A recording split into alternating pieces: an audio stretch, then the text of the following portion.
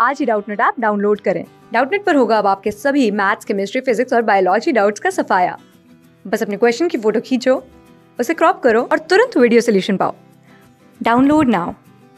Hello guys तो question हमारे पास, which of the following, which of the following decisions were taken by the forest act 1878 1878 forest act के द्वारा कौन सा डिसीज़न लिया गया था?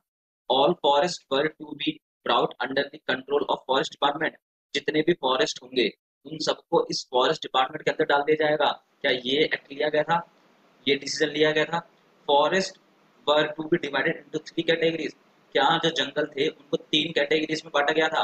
Forest were to be clear for cultivation जंगलों को कल्टीवेशन के लिए, खेती के लिए क्लियर करना था।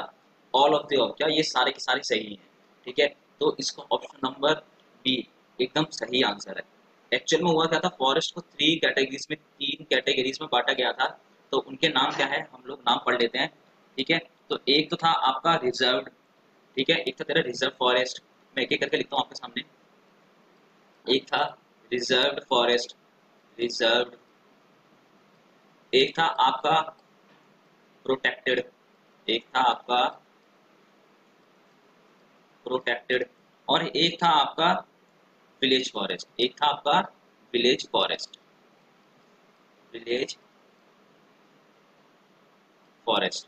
तो जैसे कि आपको पता है, देखिए, जो इन तीनों को बिल्कुल सही बात है रिज़र्व प्रोटेक्टेड एंड विलेज। उसमें से जो रिज़र्व फॉरेस्ट था, जो ये रिज़र्व फॉरेस्ट था, काफ़ी महत्वपूर्ण था।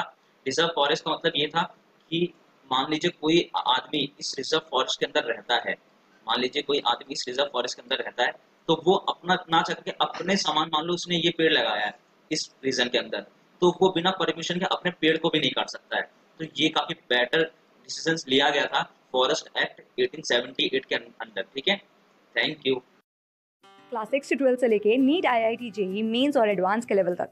दस मिलियन से ज़्यादा स्टूडेंट्स का भरोसा। आज ही डाउनलोड करें डाउट नेट आप या व्हाट्सअप कीजिए अपने डाउट्स आठ चार सौ चार सौ चार सौ पर।